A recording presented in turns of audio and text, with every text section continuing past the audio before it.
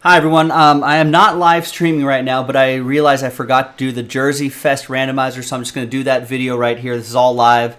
Um, no funny business here. We're just going to give someone a ticket to Jersey Fest for uh, this 2022 Panini Chronicles dual case break, random number, random team number one. That is. So big thanks to everyone here for getting in on it. You all have a chance at a ticket to Jersey Fest. Details of that promo on jaspyscasebreaks.com basically a chance to win a Fanatics autographed authentic jersey, fully licensed. Let's roll it and randomize it. Two and a one, three times. Name on top gets it. One, two, and good luck. Third and final time. After three, only the name on top gets it. So the saddest of times for spot two, Dustin. Very close, but no cigar. I think he had a nice break, though.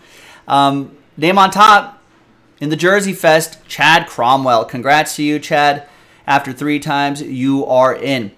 Thanks, everybody. I'll see you next time for the next break. Bye bye.